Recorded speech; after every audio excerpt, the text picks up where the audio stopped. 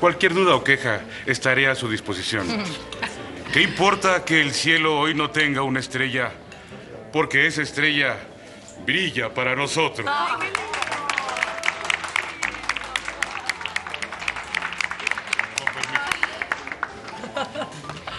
Es feo, pero sensible. ¿A quién me recuerda? ¿A quién me recuerda?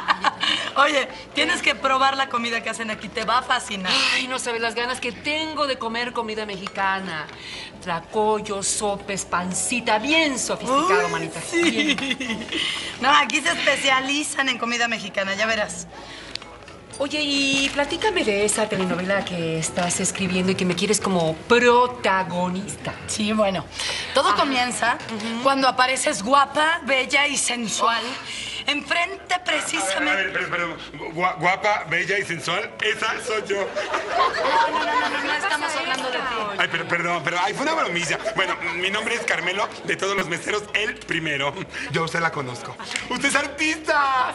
Ustedes, no, no me, no me No, no, no, no, no no me digo, no engañe. digo, no. Usted es Lucía Méndez. ¡Ay, cómo supo! ¡Mi vida! ¡Ay, hola, Carmelo! ¡Carmelo! Hola, ¿cómo estás? Hola.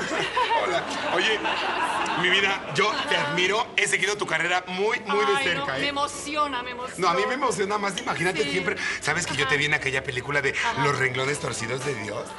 ¿Qué te pareció? Me, me encantó. ¿Ah, sí? ¿Sabes que a mí me hubiera gustado estar en esa película? Sí, por lo retorcidito. Ay, qué bromista, ¿eh? Pero, pero me caes muy bien. ¿Sabes que Yo te admiro mucho desde Los ricos también lloran. Yo no estuve en Los ricos también lloran. Ah, no, sí, ya sé, pero yo te admiro desde entonces. Eh, eh, no, no, ¿Nos podrías Corre, tomar la orden, loca, por favor, ¿a quieres que la mate yo? Ay, ya, por favor. sí. Ah, y tú, espérame tantito, tú no empieces a hablar porque estoy hablando con una estrella, con una primera actriz, no con una extra. Fíjate. Ya, ¿qué, qué es lo que van a querer entonces? No sé. A ver, quisiera que me prepararas algo muy mexicano, algo... Ay, pues eh, le podría preparar al capitán. Es muy mexicano, pero eso es como para nueve porciones y ustedes nada más son dos. Bueno, ¿qué nos recomiendas, Carmelo? Bu- Bueno, eh, te, te recomiendo así ya, así la del plato, sí, sí, así, así espérame, de- la de carta. cuatro, de cuatro. Ensalada, mala noche. ¿Con qué viene? Bueno, esa viene con berro. Nada que tenga que ver con berro. Ay, bueno, está ¿Qué? bien, ¿Otra cosa tienes?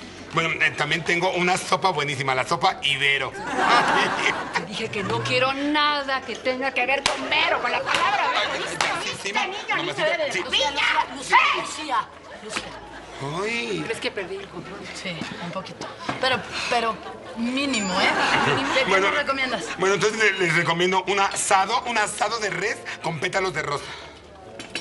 ¿Pero pétalos de rosa? Sí, de rosa salvaje.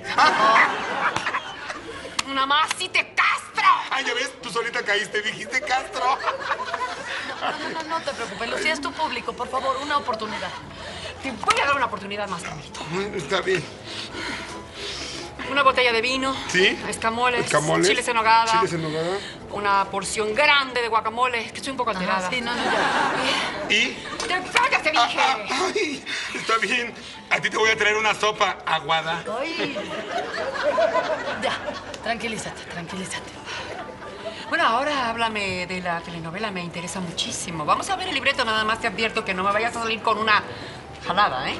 No. Porque yo llevo el primer crédito. Sí, sí, Lucía, Primer mira, crédito. Yo lo ¿oíste? sé, tu, tu coprotagonista Sí. No, no, no, sería... no, no, pero no importa. Cualquier principiante es lo de menos. Pe- No, pero es que- Nada, nada, nada. Lo importante es que la estrella soy yo. Sí. Bueno, cuéntame, cuéntame. La historia. ¿Qué? La novela se intitula ¿Con cuál de las dos? La escena comienza cuando